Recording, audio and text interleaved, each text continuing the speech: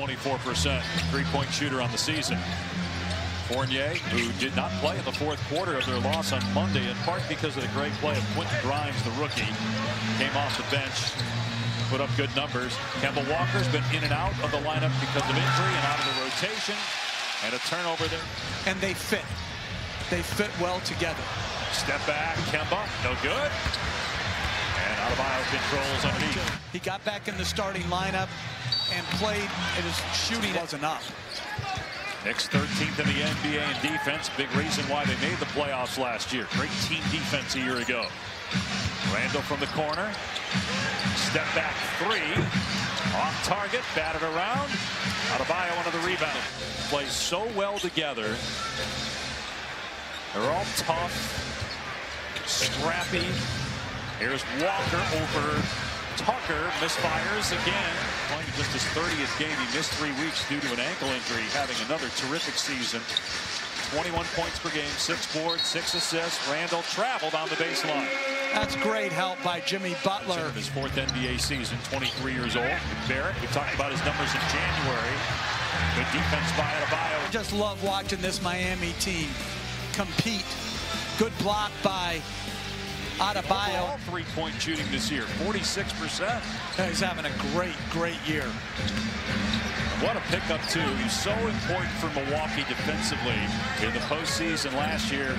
Now he'll be the one that's guarding the Bucks if these two teams should meet in the playoffs. All five of my starters out because it's nearly impossible to figure out who's most at fault for this.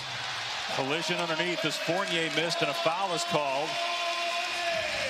Thibodeau told us before the game, Julius Randle's at his best when he's attacking. Throughout their starting team, there's other than their centers, and they, they rotate because played well in January, but before that, he had really struggled as well.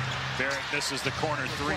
But you know how when you would walk through the hallway when you used to play against your brother and the Heat in, in the heyday of Knicks Heat, and you guys wouldn't talk to each other? Sampson at Houston, he lives that Houston, University of Houston mentality Everybody knows to say it's important to you, but to find the guys who aren't frauds, that truly care about getting better, teams winning, and playing unselfish, agenda-free basketball.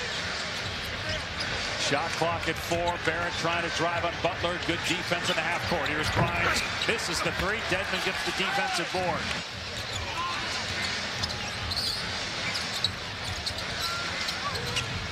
Quickley's pass deflected, but it ends up in the hands of Grimes. No good that time, but a second chance opportunity. Burks can't pay it off. And Herro with the rebound ahead to Burks. Great transition layup, but he missed it.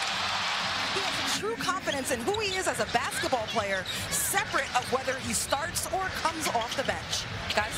13th pick in 2019 out of Kentucky as Grimes misfires on the three. Herro gets the rebound of the score down here. But Herro, I, I, there's not too many more complete offensive players from a scoring standpoint in the league. It's really going to be interesting to see where he goes in the next couple years because he's already really good as Quickley loses his footing. How much better can Herro get? I mean, look at a hustle there. Shot clock violation. And that was a great read by Robinson. They were trying to throw it into the post. You know, I mean, but I, but they do everything well, and that's what I have great respect for. Charlie Ward on his head. We had a disagreement on who started it and how it ended as Grimes hustles for a second shot. And a turnover. History passing LeBron James in his third year with Miami. Setting it is causing them problems. A beautiful find by Butler. Six straight points for the Heat. Steal by Butler, and then R.J. Barrett commits his third foul. Want to put in the time to get better, who are willing to do the work that it takes to improve in the NBA. Robinson picked up his third foul. Again, just 14 games played with Butler, Adebayo, and Lowry together. Lowry out again because of personal reasons tonight. Seven times this quarter, yet they're holding the Knicks to 36 points for the game. And they've extended their lead. Knicks cut it to 10 at 44-34, so a 10-2 run right now. Shot clock at five. Fournier, step back, short. It's not close. Now they're really just such a well put together team. Randle, just two for six, four points in the game. Then shut it down. In the paint first. Knicks are in Milwaukee on Friday. They've lost four of their last five. They're two games under 500. Belichick always says, you're building a team. Fournier called for traveling for what Miami does and their culture. Randle for three, way off, for sure. Well, they surround, Adebayo's not a range shooter, Butler's not a range shooter. Everybody else is. One per game. Missed 18 games this season, missed 20 last year due to injury. Randle corner three, that one rattles out. Saw it, I don't think Goble saw that it was Adebayo and uh, pointed it out that it was him and called the technical. Here's Kemba Walker from deep. Front rim, no. And Butler out of there with it, 21. R.J. Barrett, 17 points and nine shots, but a turnover there. Adebayo gets the steal. Ahead to Vincent. Puts it on the floor and flips it up and in with a finger roll. More, go to NBA.com or visit the NBA app. Turnover again by the Knicks out of the timeout. Butler. And good play by Barrett to read that and get the steal. Missed the shot.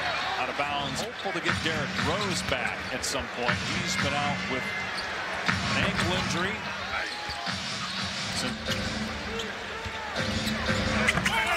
Where he won't go. Contact underneath. Herro was trying to take away the left hand of Barrett. Here's Randle driving. Tried to feed it underneath and turned it over. They just have a relentless makeup. Tucker thought he was shoved by Randle, but played in one game, five minutes against the Clippers on Sunday. Started seven games for Atlanta, averaged 12 points per game. Atlanta's the team that beat the Knicks in the playoffs last year. Reddish missed a good part of last year due to injury. Never hit the rim, so the shot clock is three. Burks no good. Wow, Grimes up high. What a play to save that after he had the one-hand rebound. Devin almost did the same thing. Knicks shooting under 40%, while Miami is close to 60% from the floor. Less than a minute to go. Good ball movement. Burks driving. Working around it quickly. Fires underneath to Burks, but he missed it. Here's Burks for three. No good.